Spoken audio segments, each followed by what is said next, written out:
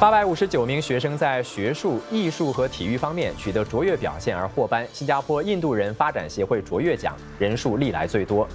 也是协会主席的总理公署部长英兰妮在典礼上表扬获奖者。The recognition you receive today reflects your tremendous efforts to achieve the goals that you have set for yourselves, and your success is bigger than you think. 英兰尼也说，获奖人数十年来增加了一倍。今年的获奖者包括了一名正在攻读硕士学位的四十八岁女教师，以及一名在世锦赛破全国纪录的十八岁运动员。